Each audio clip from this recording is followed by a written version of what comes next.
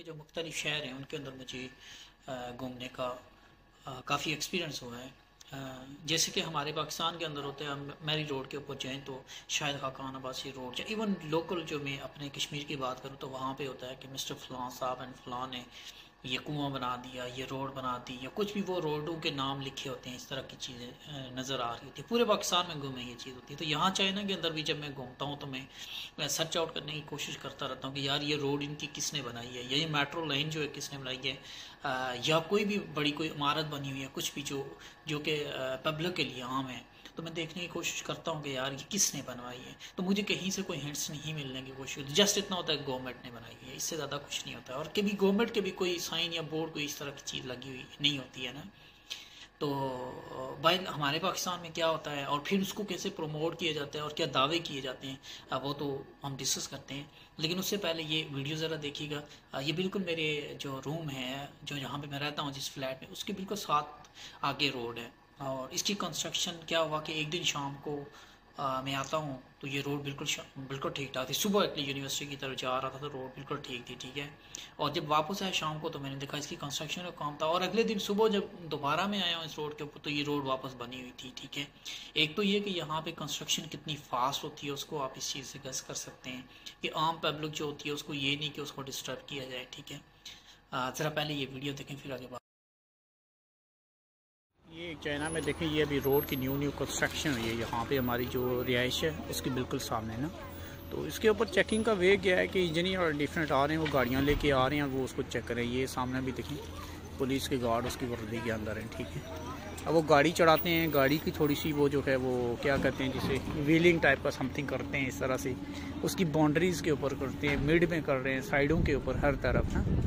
اور پھر اس کے بعد چکر۔ اچھا اس کے علاوہ یہ تکے لگا لگا کے نا گاڑی کو چلا رہے ہیں۔ ایسا نہیں کہ یہ گاڑی چل نہیں سکتی، یہ گاڑی چل سکتی ہے، لیکن اس کو دھکے لگا لگا کے کوئی ان کا اپنا ہی ٹیسٹنگ کوئی میکنزم ہے اس کی بیس کے اوپر کر رہے ہیں۔ تو کہنے کا مطلب یہ ہے کہ یہاں پہ کنسٹرکشن ہوتی ہے تو اس کے بعد کیسے اس کو دیکھا جاتا ہے کہ ویدر یہ اکارڈنگ ٹو اوور اسٹینڈرڈ ہے یا نہیں۔ Well in our case I mean in our country so card حاجی صاحب یہ کبھی کبھار ہمارے کنٹریکٹر جو ہوتے ہیں، ٹھیک ہے؟ تو وہ جو کنٹریکٹر ہوتے ہیں، وہ کیا کرتے ہیں؟ جی حاجی صاحب فلاں ہوتے ہیں، کچھ اس طرح کا، یہ گاڑی کو آپ دیکھ سکتے ہیں، ساتھ میں بولی جا رہا ہوں اس کو بھی سنیے گا۔ تو وہ کیا کرتے ہیں کہ کچھ پیسے شیسے دے دیتے ہیں کنسٹرکشن ہمارے یہاں کیا ہوتی ہے؟ میں بہت سی لوکل اپنے یہاں جو ہماری روڈیں ہوتی ہیں، ان کو دیکھ رہا ہوتا ہوں۔ لوکل روڈوں کے علاوہ جو ہماری جو وہ روڈیں ہوتی ہیں، دوسری جو ایون جو مین جو لائنز ہوتی ہیں، ان سب کی سچویشنز آپ کے سامنے ہوتی ہے کہ ایک دفعہ بنتی ہیں اور چھ چھ منتھ آٹھ آٹھ منتھ ایون مجھے اسٹل ریمبر ہے کہ پنڈی سے لے کے یہ کشمیر کی طرف جو روڈ جا رہی تھی، وہ کچھ منتھ کے یہ دیکھیں۔ تقریباً کچھ چھ منتھ کے قریب جو ہے وہ روڈ بند رہی تھی، اس کے بعد کنسٹرکشن ہوئی دین فائنلائز ہوئی۔ پر اس کے رزلٹ کیا تھے کنسیکوینسز کیا تھے، وہ ہمارے سامنے ہی ہیں۔ کہ آئی مین اس کی کتنی پائیداری تھی۔ اس ویڈیو میں کلیئرلی دیکھ سکتے ہیں کہ کیسے جو ہے نا اس کی جو ایڈمنسٹریشن آتی ہے وہ آ کے چیک کرتی ہے کہ بھائی روڈ کی کوالٹی ہے یا نہیں ہے۔ ایک بات تو یہ آ گئی۔ اور دوسری بات، یہاں پہ کوئی تختی کچھ لگنے کا سائن نہیں ہے۔ کوئی سگنیچر نہیں لگے ہوئے کہ یار یہ فلاں بندے نے بنائی ہے اور وہ بڑی فلاح و بہبود کے لیے کام کر رہا ہے اور بڑی اللہ کے لیے کام کر رہا ہے۔ جی۔ ہمارے یہاں پریٹینڈ کیا جاتا ہے اس طرح۔ میں لوگوں کی نیت کے اوپر بات نہیں کروں گا۔ بٹ آبویسلی کچھ چیزیں سامنے نظر تو آتی ہے اتنے ہم بھی بچے تو نہیں سمجھ آ رہی ہوتی ہیں۔ کیونکہ ہوتا یہ ہے کہ آپ کہیں پہ روڈ کی کنسٹرکشن کرتے ہیں، کسی گورنمنٹ سے فنڈ لیتے ہیں، کسی این جی او سے فنڈ لیتے ہیں، کچھ بھی کرتے ہیں of course I appreciate your efforts of course لیکن یار آپ یہ تو نہ کہیں نا خالص جو ہے نا، لوگوں کی فلاح بہبود کے لیے کام کر رہے ہیں۔ آپ اس بدلے میں ووٹ لیتے ہیں۔ ووٹ کے بدلے میں آپ کو فہم ملتا ہے، آپ کی پارٹی کے اندر آپ کو ایک پولیٹیکل اسٹرینتھ ملتی ہے۔ اور اس کے بدلے میں کیا ہوتی ہے، ایک آپ کا ایک فنڈنگ بجٹ ہوتا ہے، وہ ملتا ہے، جس میں سے پرسنٹیج میں آپ لے رہے ہوتے ہیں، ٹھیک ہے؟ اور بہت سارے ہیں جو پولیٹیکل لیڈرز ہیں، چاہے لوکل لیول کے اوپر یا بڑے لیول کے اوپر آف کورس ان کے بزنسز کاروبار جاب بھی ہیں، لیکن کچھ کو جب میں دیکھتا ہوں تو some time I am get surprise کہ یار ان کے پاس تو کسی طرح کی کوئی جاب یا کوئی ریسورسز کی سچویشن نہیں ہے، تو پھر ارننگ کہاں سے ہوتی ہے؟ سمپل سے کویشچن جنریٹ ہوتے ہیں. بٹ آف کورس میں اس چیز کے اندر ڈگ آؤٹ نہیں ہونے کی کوشش کروں گا. میں تو وہ بات کروں گا کہ جو ٹائم ویسٹیج نہیں ہوتا، جو کوالٹی ہوتی ہے کام کی. ایک تو ہمارے یہاں کیا ہوتا ہے کہ کوئی بھی کام شروع کرنا ہے، کوئی پروجیکٹ شروع کرنا ہے بننا ہے روڈ بننی ہے، ٹھیک ہے؟ مریض سے مجھے آج بھی یاد ہے، یہ یہ والی روڈ جو بنی تھی ہماری کشمیر کی طرف آتی ہے، پنڈی سے یہ۔ تو میرے خیال میں سال سے زیادہ لگا تھا۔ اسی طرح جو اور پنڈی اسلام آباد میں کہیں پہ بھی دیکھیں روڈیں بنتی ہیں تو اتنا عرصے تک وہ بریجز بن رہے ہوتے ہیں، یہ راول چوک کے اوپر تھا، منڈی موڑ کے اوپر تھا، تو یہ تقریباً چھ چھ مہینے کے سات سال روڈیں بند رہتی ہیں، ٹھیک ہے؟ اور ان کی کنسٹرکشن اتنی سلو ہوتی ہے۔ پہلے تو یہ کہ کنسٹرکشن کریں گے تھرڈ کوالٹی کی، ٹھیک ہے؟ اور لگائیں گے اس کو کنسٹرکشن کرنے کے لیے چھ مہینے۔ اور درمیان میں بھی چھ مہینے ٹریفک کو ڈسٹرب کریں گے، عوام کو ڈسٹرب کریں گے، اور اس کی کوالٹی ہوگی وہ آگے دو سال یا تین سال چل پائے گی۔ اور اس سے ایک اور ورس سچویشن یہ ہوتی ہے ہمارے یہاں پاکستان کے اندر کہ پہلے کیا کرتے ہیں، ایک روڈ پوری بنا لیتے ہیں اسٹریٹ کے اندر۔ اور یہ میں نے بہت کامن سی چیز دیکھی ہے، ٹھیک ہے، پوری انویسٹمنٹ کریں گے، پیسے لگیں گے۔ جب روڈ بن جائے گی تو پھر پتہ چلے گا او یار، اس کی تو نالی نکالی تھی جس کو لوگوں میں ہم کٹھی کہتے ہیں۔ پھر جی وہ پوری پھاڑ چیٹ کے کٹھی بنائی جائے گی۔ پھر تھوڑے دنوں میں پتہ چلے گا، یہاں پہ جو ہے نا وہ گیس کی جو وہ آمد و رفت تھی، وہ ڈسٹرب ہو گئی ہے۔ تو دوبارہ اس سائڈ کو کھودا جائے گا اور پھر دوبارہ گیس کے لیے وہ کیا جائے گا، پھر سیویج اور یہ ایک سرکولیشن ہوتی رہتی ہے۔ یعنی روڈ بنانے سے پہلے آپ لائن کر لیا کرو کہ یار کون سی لائن یہاں سے گزارنی ہے اور کون سی نہیں گزارنی ہے۔ ایک تو مطلب ان سب چیزوں سے نا مجھے پرسنلی بہت اریٹیشن ہوتی ہے لائف کے اندر. آئی مین مارلی ہم جو ہے نا بہت چیزوں کے اندر پیچھے کھڑے ہوئے ہیں، ہر لحاظ کے ساتھ. اور ہونا کیا ہے کہ وہ روڈ آپ بنا رہے ہو، اس کے تھرو کوئی بھی پولیٹیکل لیڈر ہے، کوئی بھی پرسنالٹی ہے، یار آپ اپنی ووٹ کیش کر رہے ہو، سارا کچھ کر رہے ہو، لیکن یار پھر اس کو بھی اللہ کی راہ کے لیے ہم نے یہ کر لیا اور ماں عوام کی خدمت کا جذبہ رکھتے ہیں، فلاں فلاں، اور پھر کو خود کو ایسے پریزنٹ کرنا کہ یار یہ تو پتہ نہیں خلیفہ رنشید آ گیا ہے یا پتہ نہیں کتنا نیک بندہ آ گیا ہے۔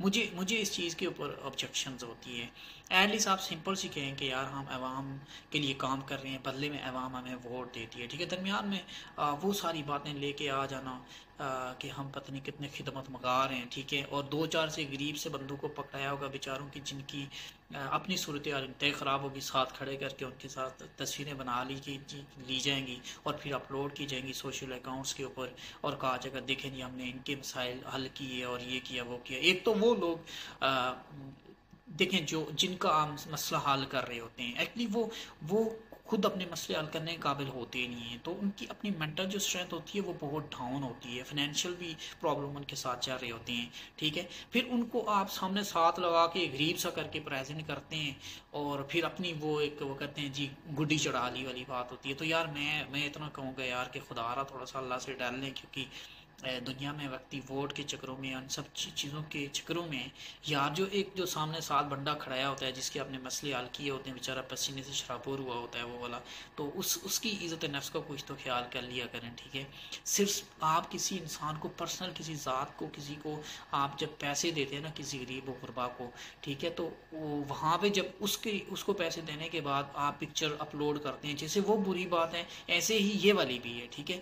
گورنمنٹ کی طرف سے وہ فنڈ آیا ہوا ہے؟ ٹھیک ہے، جو کہ اس بندے کا حق ہے آپ اس پہ احسان نہیں کر رہے۔ میرے اکارڈنگ تو کہیں پہ بھی نہیں ہے، کیونکہ کیونکہ بات یہ کہ وہ اس نے ٹیکس پے کیا ہے، ٹھیک ہے، اس کا رائٹ تھا یہ۔